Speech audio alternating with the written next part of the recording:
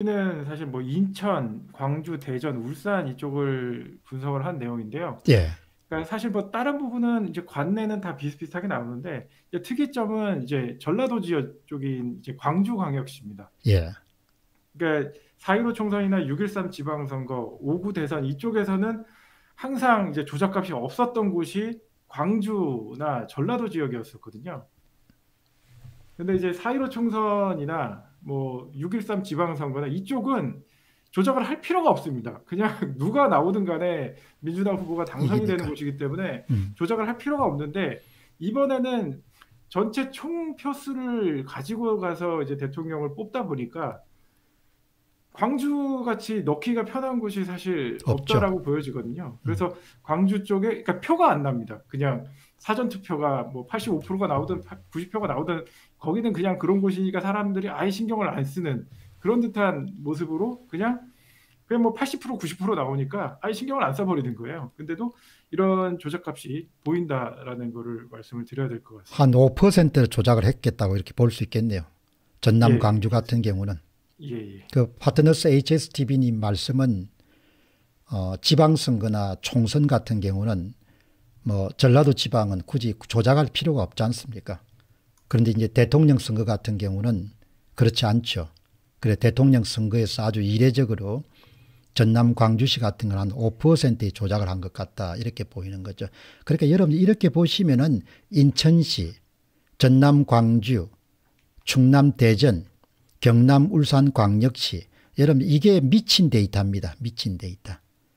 이게 조작된 데이터입니다.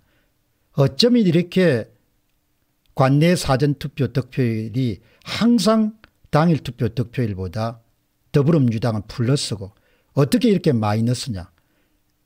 자유애국 시민들이 지금 윤석열 당선인과 국민의힘에 요구하는 것은 이거를 해결해 달라는 겁니다. 다음 선거에는 이런 일이 일어나지 않도록 다음 선거에는 이렇게 왔다 갔다 왔다 갔다 표가 나올 수 있도록 그렇게 정상적으로 아니 국민들이 세금 내는데 정상적인 정직한 선거가 이루어지도록 해달라고 요구하는 게 뭐가 무리한 요구냐 이야기. 예? 윤석열 당선인이 이 문제에 대해서 입을 다물면은 우리는 저항할 수밖에 없어요 계속해서. 예. 선거가 망쳐진 나라는 노예로 사는 건데 노예로 살 뻔했는데 이번에 계속 개우, 개우 그냥 구해줬는데 이 문제를 해결 안 해주겠다. 이러면 말이 안 되는 거죠. 야, 저는 이 미친 그 선거 데이터를 보면서 지금 방송을 진행하면서 좀 괴롭네요. 미친 거를 계속 국민들에게 설명을 해야 되니까. 예? 차, 이거 뭐 한편의 예술인데 예술. 조작 예술을 상징하는 겁니다. 어쩌면 그렇게 모든 지역에서 이재명은 다 예? 사전투표에서 앞서냐 이야기. 어떻게 윤석열이는 다 지냐 이야기. 예? 권영세 이거 봐라 이야기. 김기현 이거 봐라 이야기죠. 예? 이준석 이거 좀 봐라 이야기. 애가 끓는 거죠 이게. 자 그럼 이제 그 다음에 17번 보시죠. 17번입니다. 그 특이한 점이 예. 이 우편 투표가 전라도 지역에서는 조작값이 나오지가 않는 것 같습니다. 그러니까 우편 투표는 그때 이제 다른 지역 같은 경우는 아마 시스템이 갖춰져 있는 것 같아요. 우편 투표에 대한 조작에 대한 시스템이 갖춰져 아하. 있는 것 같은데 이 전라도 쪽은 이제 처음 하다 보니까 이게 우정사부하고도 뭐 연관이 있고 하다 보니까 그렇게까지는 못했던 걸로 지금 보여집니다. 아주 이례적이네요. 예. 인천, 광주, 대전, 울산의 그런 우편 투표를 비교하니까 전남, 네. 광주가 이 정상적인 이네 이게 이게 정상이네 조작 안 했을 때 아주 예. 중요한 발견이네 여러분들 이게 정상이 나왔습니다. 이렇게 나와야 되는 게 맞는데요. 전남, 광주의 우편 투표는 조작을 안 했습니다. 그래서 이런 이 규모가 1에서 2% 3%입니다. 그리고 보시죠. 이재명은 동구에서 마이너스 서구에서 플러스 남구에서 플러스 북구에서 플러스 광산구에 플러스 야 이거는 그야말로 이 박제를 해가지고 이게 정상입니다. 여러분 전남 광주시의 관내 사전투표는 조작을 못했습니다.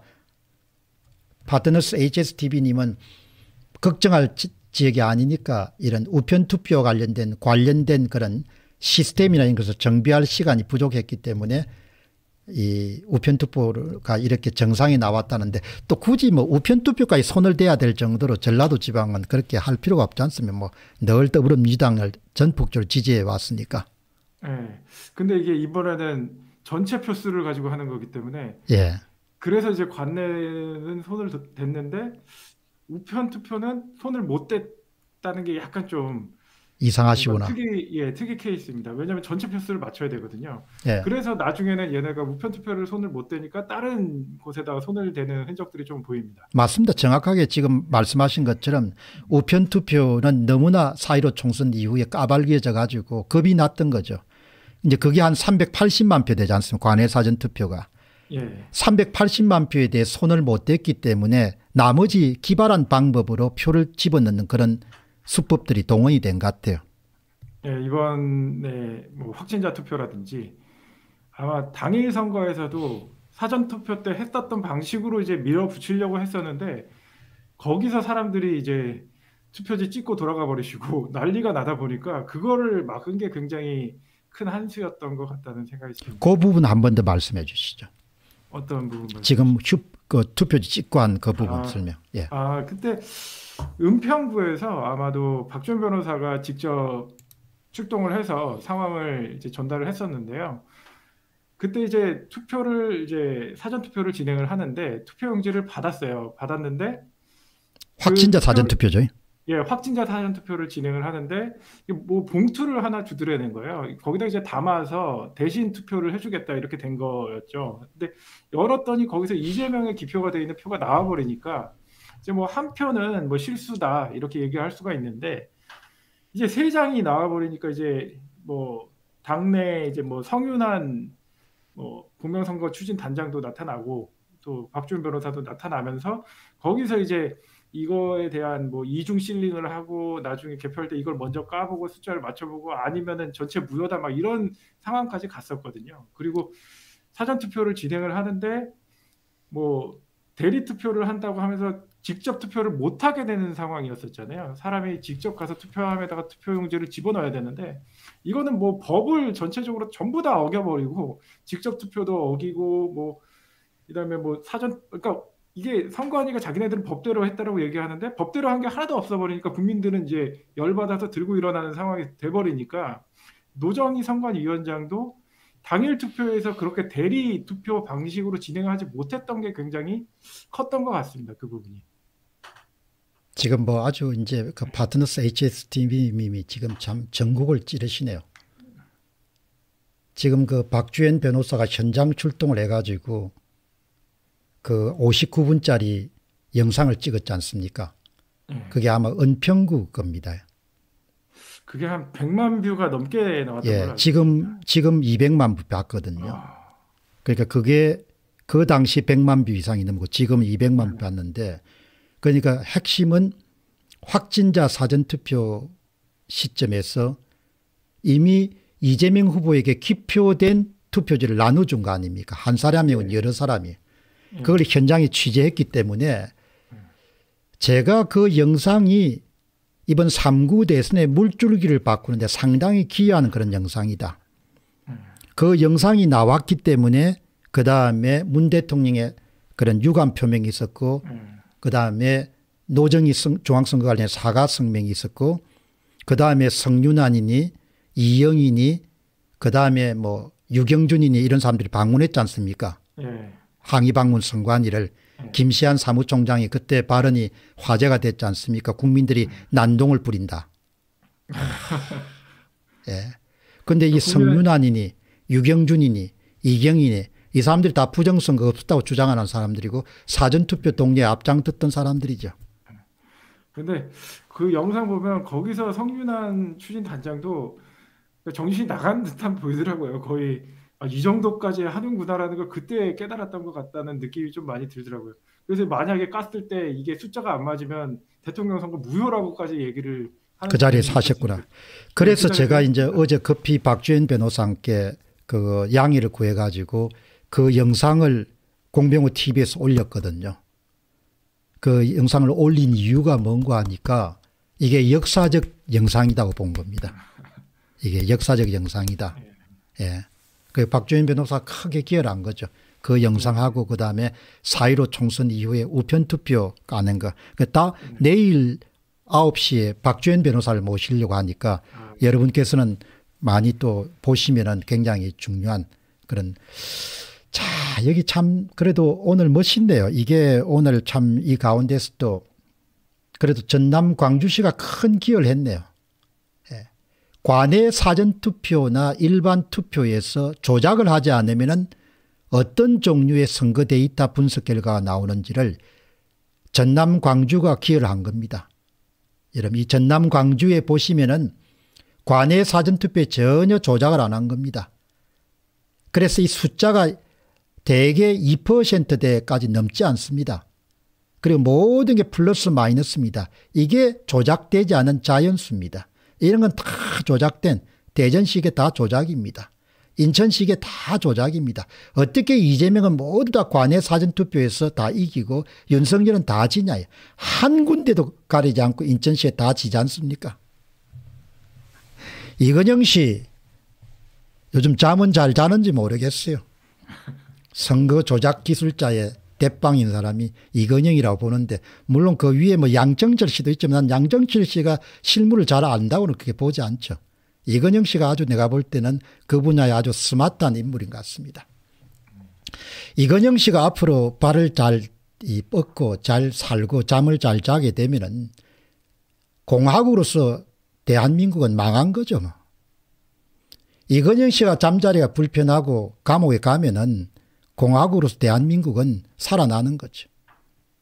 문재인 대통령이 양산에 가서 편안하게 잘 살면은 공화국으로서 대한민국은 끝나는 겁니다. 네. 그분이 좀 사는 게 고, 고단하면은 반대로 대한민국 국민들은 사는 거죠. 이건영 씨 이거 한번 보세요. 예. 이거 보시고 여러분 이 영상을 민주당 쪽에서도 좀 많이 보여주시기 바랍니다. 정신들 좀 차리게. 이번에도 역시 예, 이 애국도시답게 전남 광주가 큰 역할을 했습니다. 관내 사전투표에 조작을 하지 않는 아주 희귀한 그런 사례를 우리 함께 제공한 겁니다. 고맙습니다. 어떻든. 자, 그 다음에 한번 보시죠. 그 다음에 이제 뭘 이렇게 노란색을 막 칠했는데 엄청 중요한 모양입니다. 아, 이거 그렇게 중요한 것은 아닌데요. 여기도 광주, 광주 쪽은 제가 아까 재외국민 투표가 전부 다 이재명이 이긴다고 했었는데 예. 이기지 못하는 곳이 이제 있습니다. 광주입니다. 광주. 당일보다 적게 나온 곳인데 이쪽 광주 쪽에서도 안철수를 지지하시는 분들이 상당히 있다고 알고 있거든요. 그래서 안철수 후보의 무효표가 절반씩 나눠 가지고 가져 가져갔습니다. 이 부분은. 아주 특별한 이것도 예. 정말 전남 광주가 또 좋은 사례를 제공하네요. 한 번 더 자세하게 설명해 주시죠. 이거는 또 아주 예외적 희귀한 사례인데.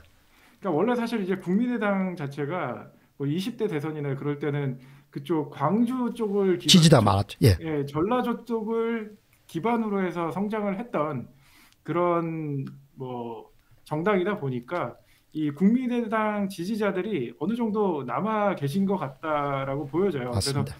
전라도 쪽은 확실하게 이 안철수를 지지하시는 분들이 계십니다. 오케이. 계셔가지고 전라도에 계시는 재외 국민들은 안철수를 찍으신 분들이 꽤 계신다는 거예요. 예. 그래서 이렇게 이제 무효표가 발생이 됐어도 이제 반반씩 나눠서 가져가는 그런 무효표가 발생이 됐습니다.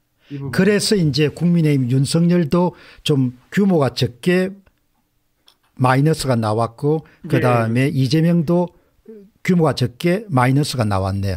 예, 이곳은 조작이 없었기 때문에.